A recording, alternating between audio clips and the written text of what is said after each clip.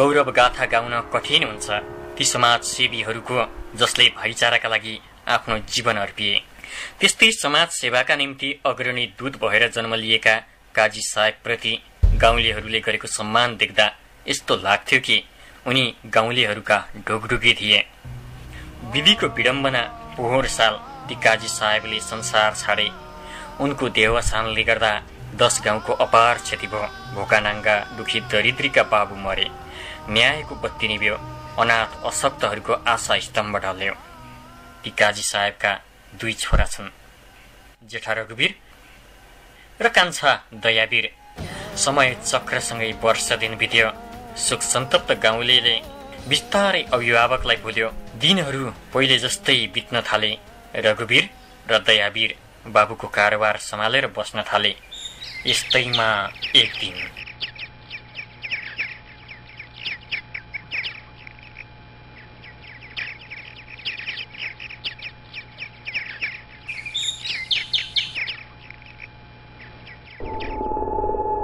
आज चाहिँ दयावीर एक्लै हिँडेर रहेछ समाजमा खुब नमुना बनेर चिन्ने। आज यिनीहरूमा शङ्काको बिउ रोपेर मजा नलिई भएन दयावीर हजुर किन र? कहाँ जानु लाग्यो त्यहाँ माथि स्कुलसम्म। यहाँ आऊ न एकचोटि। अहिले हतार छ पछि कुरा गरौँ के को हतार? सानो कुरा छ। आऊ न आऊ खाली हतार छ हतार छ। आऊ न यहाँ। हतार भन्दा भन्दा यहाँ कुकुरले लतार्न थालिसक्यो। किन के भएर? कति भोला हौ तिमी? के भयो तिमीलाई एउटा कुरा थाहा छ कि छैन? के कुरा? तिमी खालि हतार भन्दै हिँड्छौ। तिम्रो दाइको चलानीको छैन नि अचेल। प्रश्न भन्नु न किन घुमाएर कुरा गर्नुभएको? थाहा छैन केही पनि। के कुरा थाहा हुने? घरमा दाइले के गर्दै हुनुहुन्छ थाहा छ? घरमा केही लेखिरहनु भएको छ। के लेख्दै हुनुहुन्छ थाहा छ? खै थाहा भएन? थाहा भएन? दाइले के गर्दै हुनुहुन्छ थाहा छ? खै के थाहा भएन। सबै सम्पत्ति आफ्नो नाममा मन्जिलनामा गर्दै हुनुहुन्छ।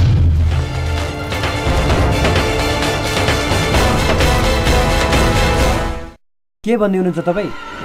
हो म ठिक भन्दैछु। यदि यो कुरा झुटो रहेछ गएर जाऊ जाऊ। यस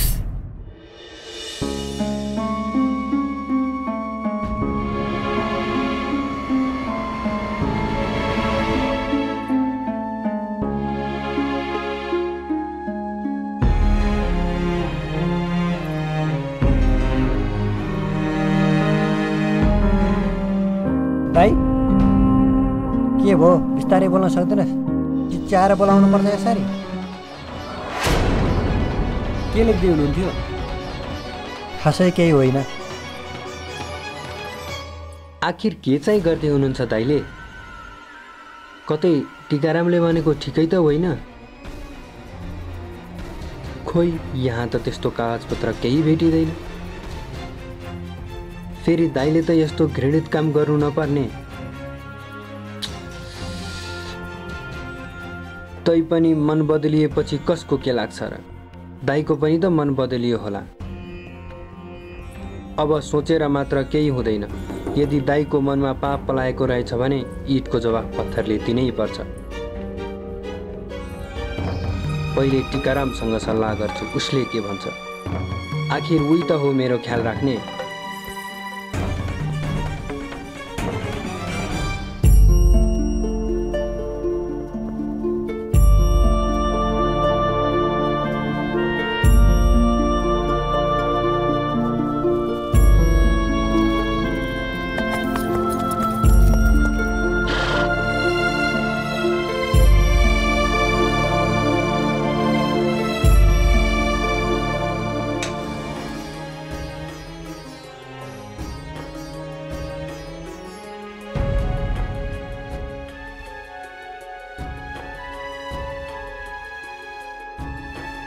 यति बेलासम्म दयावीर कहाँ गएछ?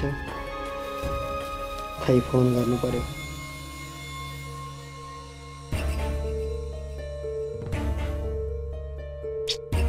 फोन पनि स्विच अफ छ।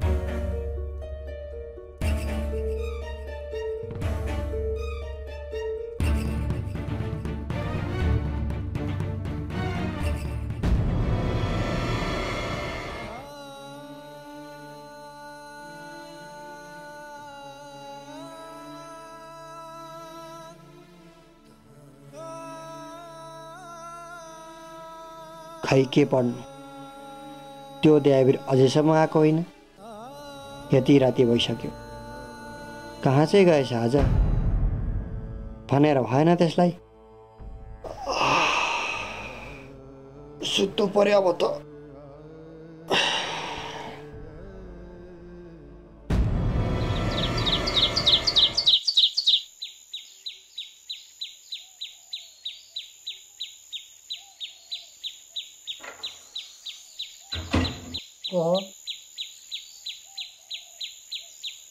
कहाँ थी हिज राति।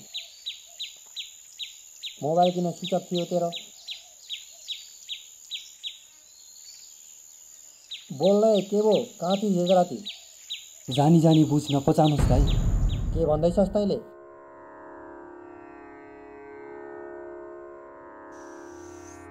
के भयो?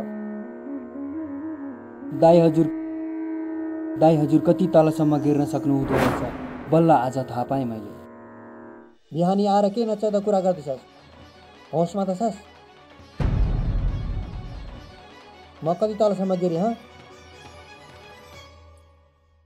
पानी माथिको ओभानो बन्नु पर्दैन दाई दावी तँलाई थाहा छ त कोसँग कुरा गर्दैछस् खुब विचार गरिरहेछु दाई बाबाको मूर्ति सम्झेर हजुरमाथि मेरो पुरा श्रद्धा छ तर मलाई थाहा छैन भनेर सबै सम्पत्ति आफ्नो नाममा बनाउन मन्जुरी नाममा लेख्ने हजुरले।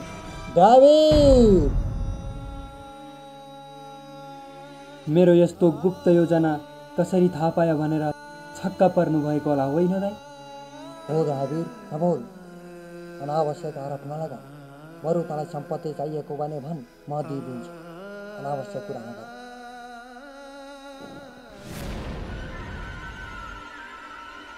बहु दाई यस्ता भावनाका कुरा नगर्दा राम्रो। कति नै मैले सम्पत्ति माग्दा दिनुहोला जस्तो। थाहा छैन हजुरको नियत मलाई। बल्ल थाहा पाएँ मेरो भाइ आज यति। यो सबै सम्पत्ति तेरै त हो। ल भाइको एक्लै बस्नु म घर छोडेर जान्छु। कहाँ जानुहुन्छ? पहिला रोटेको भए त हुन्थ्यो। खै म मामा एक्लै बस्नु राम्रोसँग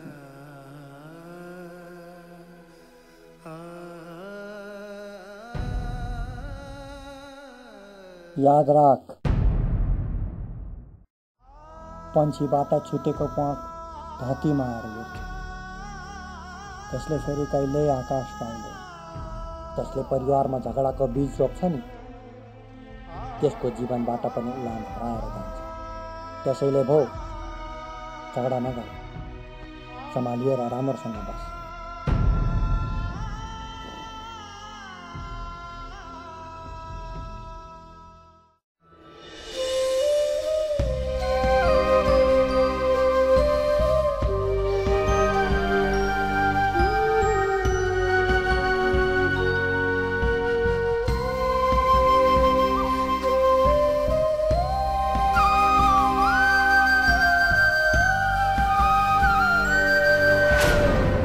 हजुर गाउँको हालखबर पनि ठिकै छ।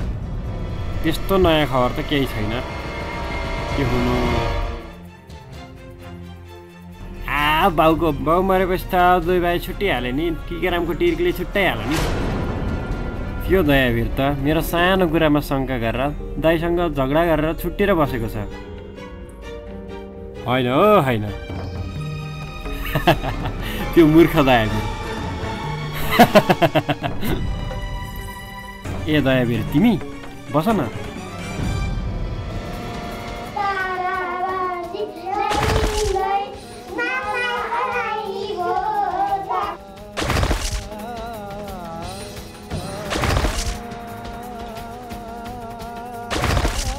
दाइले के गर्दै हुनुहुन्छ थाहा छ?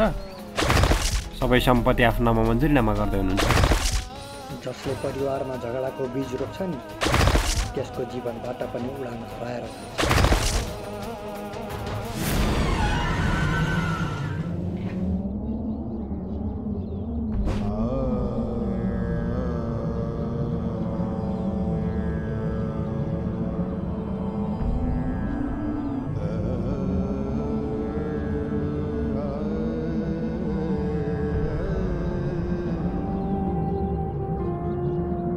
बाबा मलाई थाहा भयो मैले जीवनमा नपुग्छ शङ्का मैले एकपछि अर्को शङ्काको जालोमा फसिरहेँ। मलाई शङ्काले सधैँ घुमाइरह्यो जीवनको आरम्भदेखि नै।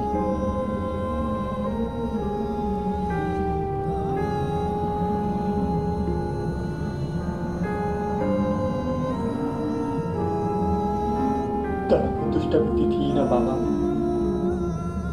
न त हजुरको सत्कारमा मेरो दाईप्रतिको आदर र प्रेम पनि अर्थहीन थिए। केवल एक नै दोष थियो मभित्र मैले मेरो राख्न जानेन। र यही शङ्काको कारणले मैले यथार्थ स्थिति बुझ्ने कहिल्यै चेष्टा गरेँ बाबा खालि सतालाई नै सबै थोक मानेर आफ्नै दाईलाई पनि अनाहार दुःख नै थिए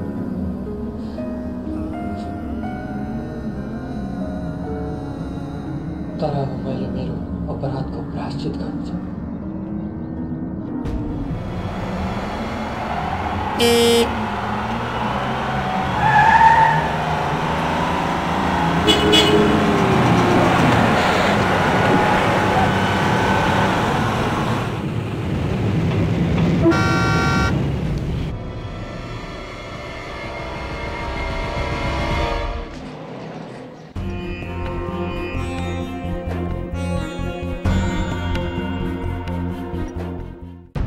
माइजू नमस्कार।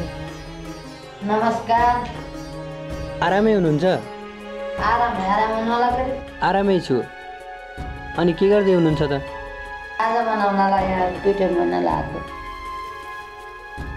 ए अनि मामा कता जानुभयो त? मामा बाहिर जानुभएको छ साँझै आउनुहुन्छ होला है? अनि दाइ कता जानुभयो त? ए हुन्छ माइजू त्यसमै म एकचोटि दाइसँग माथि छतमै जान्छु है। हुन्छ त हुन्छ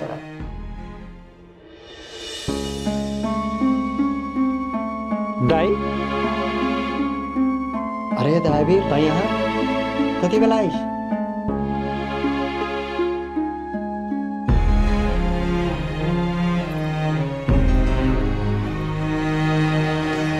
फेरि किन आएको यहाँ झगडा गर्न? होइन दाई। के भयो किन रोएको? दाई मैले अज्ञातवश हजुरमाथि शङ्का गरेँ। हजुरको अवहेलना गरेँ। मलाई माफ गरिदिनुहोस् दाई। मलाई माफ गरिदिनुहोस्। केही त बोल्नुहोस् दाई। केही त बोल्नुहोस्। अहिले त मैले सुन्दैछु नि भाइ। पहिला तैँले भन्। भन्नु नै के बाँकी राखेर दाई मैले? म मेरो सोचमाथि शर्माइरहेछु। मेरो अज्ञानतालाई बालकको गल्ती सम्झेर क्षमा गरिदिनुहोस् दाई क्षमा गरिदिनुहोस्। क्षमा? दाजु र भाइ बुबा र छोरा भगवान र भक्तको बिचमा त क्षमाको कुनै स्थान नै रहँदैन। यी सम्बन्धहरूका आधार हुने स्नेह श्रद्धा र भक्ति। त्योभन्दा पनि ठुलो आधार हो विश्वास। तैँले त्यही विश्वास नै गुमाइस्। म माथि अनावश्यक शङ्का गरिस् आखिर किन दावीर? किन? अनावश्यक शङ्का होइन दाई टिकारामको भनाइ र हजुरको काम मिल्न गएर मात्र। त्यसले हामीलाई फुटाउन चाल चलेछ दाई। उसले भन्यो कि हजुरले मजुरी नामा लेख्दै हुनुहुन्छ र म घर आएर हेर्दा हजुरले मलाई देखेर तर्सँदै झटपट त्यो कागज लिएर बाहिर जानुभयो।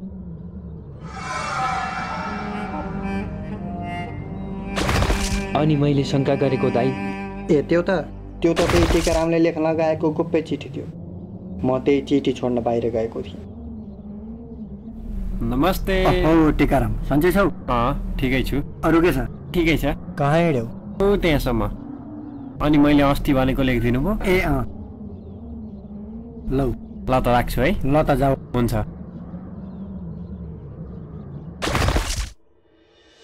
ए त्यसो भए मैले त्यस्तो आरोप लगाउँदा किन चुपचाप रहनुभयो त? त्यस्तो बेला मलाई सम्झाउन हजुरले केही त भन्नु पर्थ्यो मलाई थाहा थियो। धमिलो पानीलाई सङ्लो पार्नु छ भने त्यसलाई चलाइराखेर हुँदैन। त्यसको वास्ता नगरे त्यो आफै सङ्लन्छ हजुर धन्य हुनुहुन्छ दाई। धन्य हुनुहुन्छ हजुर। जसरी चित्रले भरिएको पात्रमा जल रहन सक्दैन। त्यो स्वयं नै रिक्त भएर जान्छ। त्यसरी नै पश्चातापले भरिएको हृदयमा खुसी टिक्न सक्दैन दाई। म हजुरसँग छुट्टिएर बस्न सक्दिनँ। जाउँ हिँड्नुहोस् घर जाउँ। मामा माइजूसँग पनि त बिदा माग्नु पर्यो। भोलि उहाँसँग बिदाबारी हौला अनि जाउँला।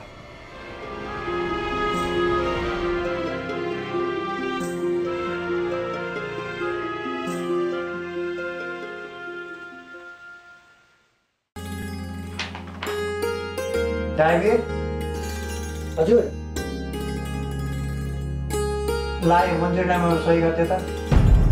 रावणले भुल गरेर हनुमानको पुच्छरमा आगो लगाएथ्यो। कसैले शङ्का गरेर आफ्नो हृदयमा आगो लगाउने भुल नगर्नु अन्यथा लङ्का जस्तै गरी सम्पूर्ण घर जल्नेछ